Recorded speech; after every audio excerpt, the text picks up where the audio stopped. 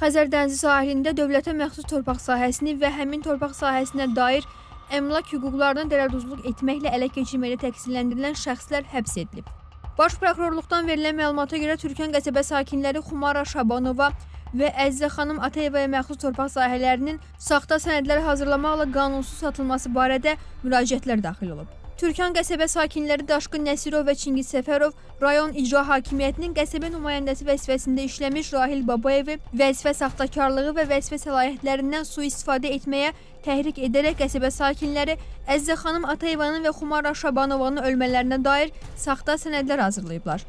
Türkan qəsəbəsi Bağlar məscidi deyilən ərazidə yerləşən bağ sahəsinin güya Türkan qəsəbəsində Xəzər dənizinin sahilində yerləşməsini əks etdirən yalan məlumatlar daxil edərək əmlak hüquqlarını dələduzluq etməklə ələ keçiriblər. Çingiz Səfərov və Daşqın Nəsirov Cinayət Məcəlləsinin dələduzluq yolu ilə özgə əmlakını külli miqdarda ələ keçirmə, rəsmi sənədləri, möhürləri, ştampları blanklara saxtalaşdırma, qanunsuz hazırlama və ya istifadə etmə və başqa maddələri ilə İcra nümayəndəsi işləmiş Rahil Babayev isə Cinayət Məcəlləsinin vəzifə səlahiyyətlərindən sui-istifadə və vəzifə saxtakarlığı maddələri ilə təqsirləndirilən şəxs qismində cəlb edilərək barəsində həbs qəti imkan tədbirləri seçilib. İş üzrə istintaq əməliyyat tədbirləri davam etdirilir.